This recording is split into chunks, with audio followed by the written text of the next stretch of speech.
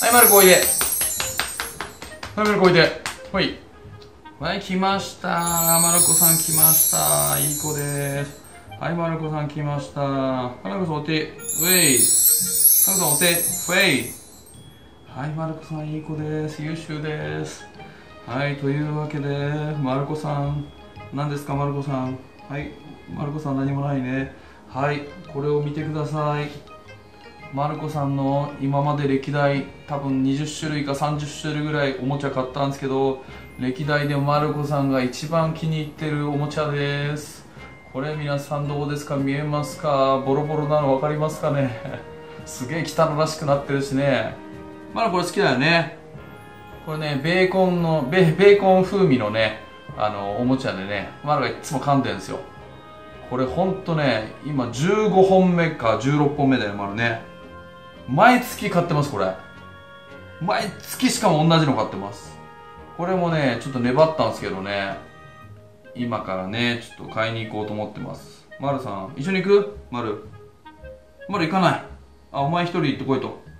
まるの買いに行くんだからまるもついてこないとダメだよ。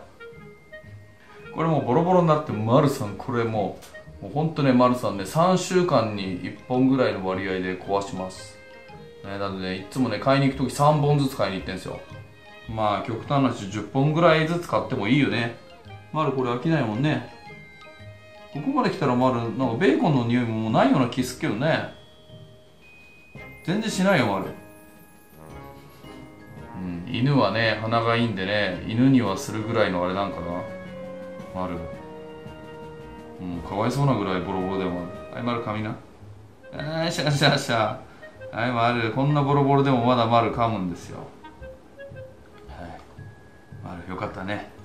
はい、皆さんのね、飼ってる、あの、犬飼ってる人に教えてほしいですね。あの、皆さんの飼ってるワンちゃんは、どの、どんなおもちゃが好きですかね。うちのね、丸はね、マルコはね、マルコさんは、このおもちゃが本当にもう、やばいぐらい好きだもんね。